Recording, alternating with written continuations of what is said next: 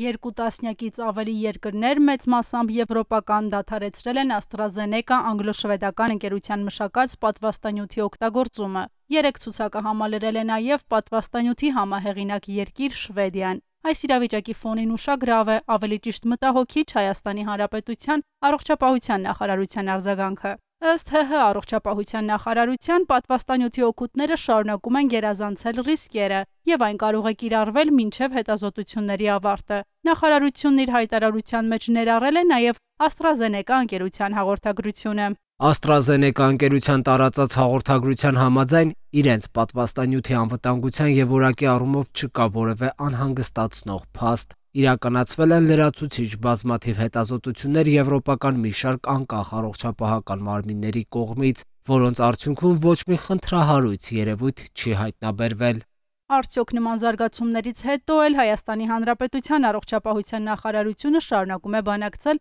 AstraZeneca-ի հետ։ Ի պատասխան նախարար Անահիտ Ավանեսյանը ասաց. բանակցությունները շարունակվում են։ Դա որոշ երկրներում որոշ խմբականակներին մասին է կասեցումը, որովհետև գիտեք, պատվաստանյութերը նաև շատ հստակ ջերմային ռեժիմում, ռեժիմով պետք է տեղափոխում իրականացվեն, այսինքն պիտի հետաքննվի ոչ միայն պատվաստանյութի որակը, այլ նաև դրա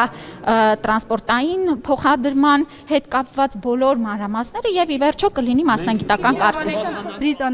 Բրիտանա-շվեդական AstraZeneca-ին ըստ էության շարունակում է աջակցել առողջապահության համաշխարհային կազմակերպությունը։ ԱՀԿ-ն հայտարարել է, չկան ապացույցեր, որ մահվան դեպքերը պատվաստանյութի պատճառով են արձանագրվել, ավելին, կոչ է արել շարունակել պատվաստման գործընթացը։ Այսուհանդերձ միջազգային փորձագիտական բազմաթիվ կազմակերպություններ ահազանգում են պատվաստանյութի օգտագործումից հետո միաժամանակ տարբեր երկրներում բազմաթիվ պատվաստված անձանց շրջանում գրանցվել են արյան մակարդում եւ տրոմբոցիտների քանակի նվազում։